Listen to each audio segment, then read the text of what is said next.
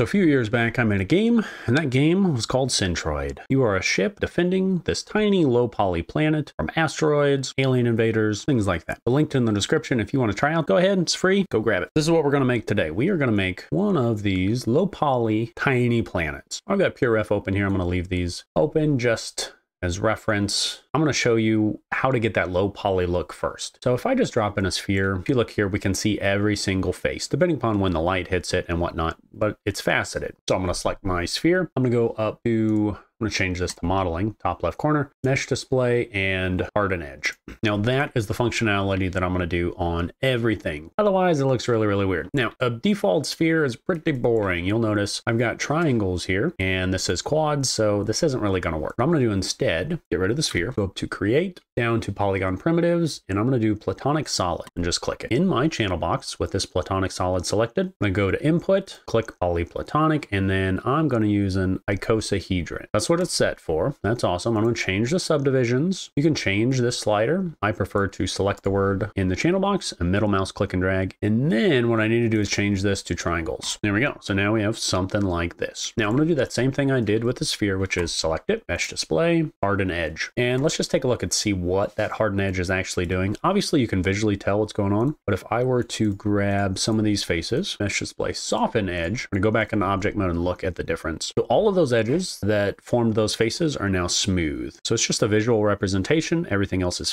faceted. This is smooth. So I'm going to grab this mesh display harden edge for that really cool low poly style. All right, and this is going to be my water. We'll do uh, materials later on. Next up, I need my three features. And by three features, I mean a tree, a rock, and just a chunk of land. So what I'm going to do, if you are super, super organized, you could go ahead and double click in your outliner. That button is here. I'm typically not, but I will this time. We're going to call this water. All right, I'm going to create our first feature, and that is one of these very simple trees. And all this is, is a cube with a couple of pyramids stacked on top and then scaled down. I'm going to drop in a cube, scale it down, up, whatever. This is just the, the trunk of the tree. I'm not concerned about the scale. If we look at our water, this would be a ginormous tree. Don't care. Don't care about it right now. There's the trunk. I'm going to go to create polygon primitives pyramid. There we go. Looking great. By default, the cube comes in at a different angle. So if I wanted to rotate this, I wanted to rotate this 45 degrees to line it up, I could. You don't have to. Totally up to you. There is the bottom of my tree. I'm going to press shift D as in Delta, scooch it up and then scale it down and then duplicate this again. And here is my tree. Let's do a rock. This one I'm going to do a slightly different approach to my modeling, like we look at our example here, it'd be pretty darn easy to hard surface model one of these rocks. Nothing crazy. It's super, super simple. I'm just going to show you a different approach. I'm going to drop in a sphere and I'm going to go to sculpting. And the only sculpting that I'm going to use is this grab brush. So the grab brush, by default, your brush size is going to be like giant. You're going to be moving this around, wondering what's going on. You can zoom out, hold the B as in Bravo, left click and drag to the left and right, increase or decrease your draw size. I am just going to throw this squish this around till I get something that's kind of nice. A little less round, just kind of blobby. Checking it from all angles.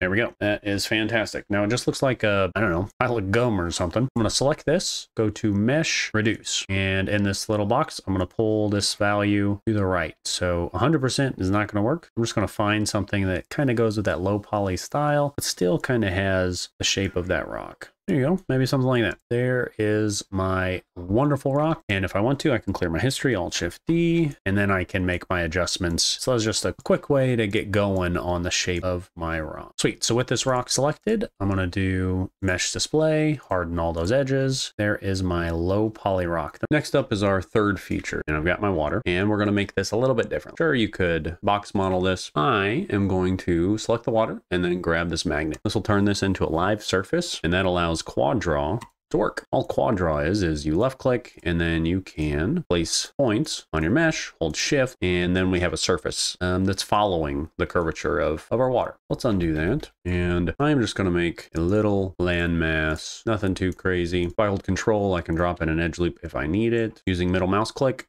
I can just move around.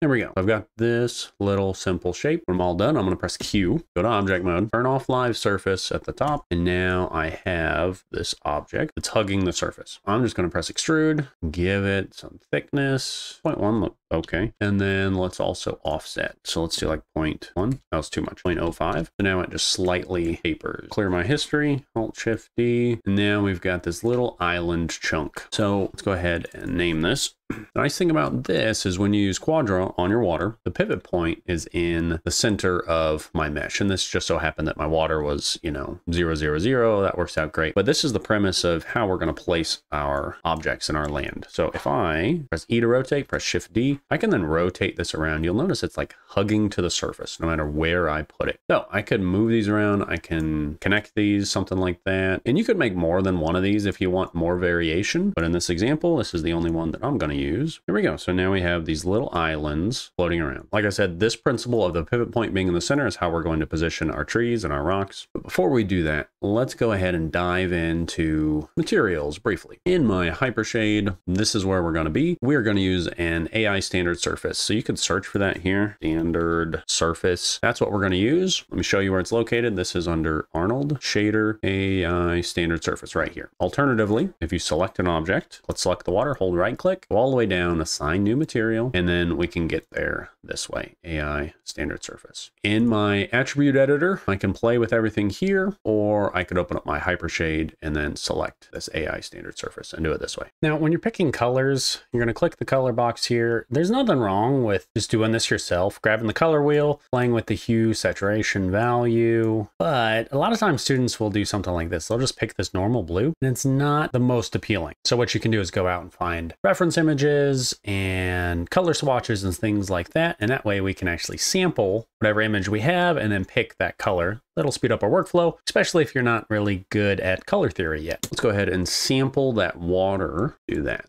That looks good.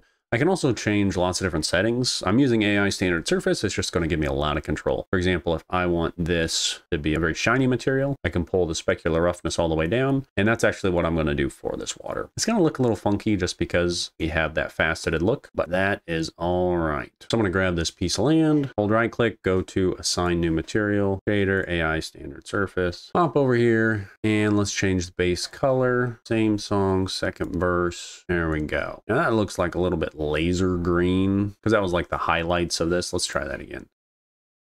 There we go. That's a little bit more natural. And then I can just grab all of these by holding shift, left clicking, hold right click, assign existing material. And this was AI standard surface three. Let's go ahead and do the same thing for the rock. Let's add a new material. Same thing, AI standard surface. We're gonna grab that gray. I think I'm gonna go a little darker.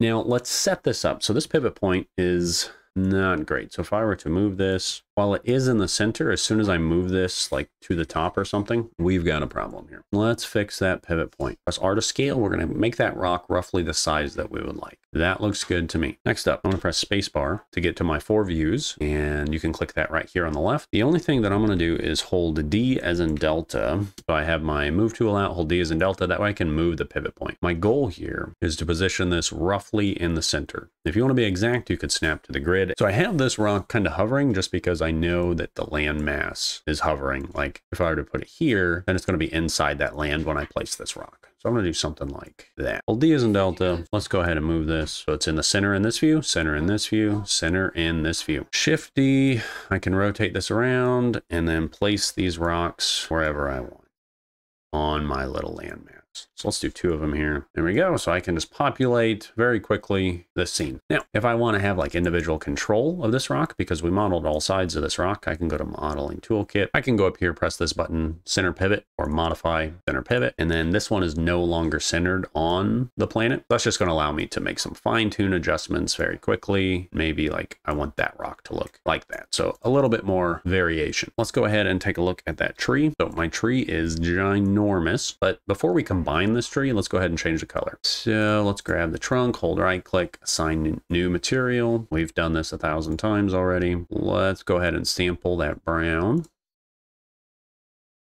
I guess for this one, so this diffuse roughness is set to a low value. So this is going to be very shiny. You can kind of see the example there. In our attribute editor, we have a better idea of what that's going to look like. Like there's the water, diffuse roughness. All the way to one is a very matte material. It's very rough. All the way to zero, it's very shiny. So I just want to make sure my land that the roughness is less shiny and the rock, depending upon the style that you're going for, less shiny. I don't care about this value. You could just crank it all the way. Same thing here. We don't want a shiny tree. Next up, let's get our green, sign a new material, shader, AI standard surface. Go ahead and do the roughness now. Sample that green. There we go. Let's grab both of those, assign existing material. So now that my tree is created, I'm going to left click and drag to grab all of those. Modeling toolkit combine. Anytime I combine, I press Alt Shift D as in Delta. R to scale, just like we did the rock. We are going to position this tree roughly on the surface and then scale it down to however large we think this tree should. That'll be great. I already have this rock kind of as a guide of how high I would like it. Looks awesome. Press spacebar. Let's go ahead and change the pivot point. Hold D as in Delta. I'm just eyeballing it to the center of this view. Should be centered in this view. And we are good to go. Let's go ahead and duplicate this tree around. There's one, two trees on that one. There we go. So you get the idea. I would need to reposition these or just delete these main ones, move them around. Things are looking great.